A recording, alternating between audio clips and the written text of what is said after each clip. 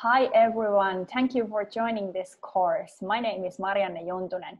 I am a teacher and teacher trainer from Finland with more than 10 years experience.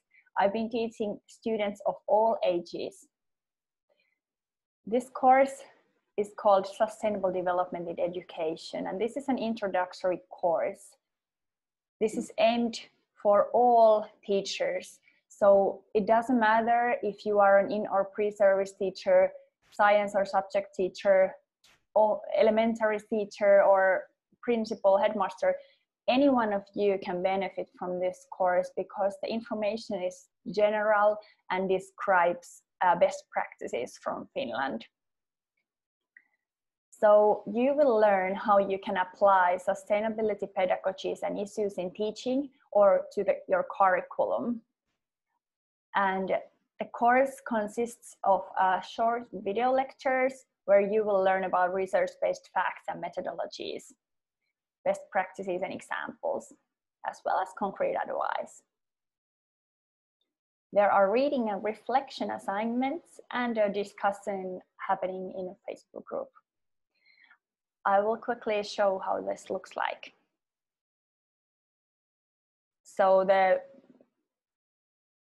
Facebook group is just general Facebook group where you can write yourself whatever you are you want to you want to share or ask people. And here you can also write comments how did you feel about the course? So this is a private group but any anyone can join. And uh, learning happens in podia edugems.podia.com and here uh, after you have paid the, paid the course, then you can simply log in and uh, click any of these contents there, there are.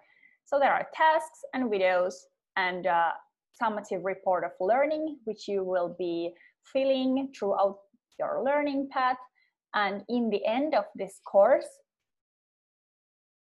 after final summary, you will send your summative learning report to me, Marianne at edugems.fi.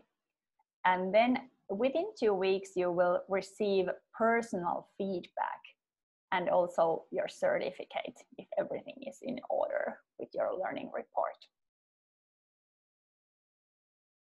So during this course, you'll get the general knowledge, what is possible about the opportunities, challenges, solutions. And then the next courses have the ready lesson plans for you. So let's get started.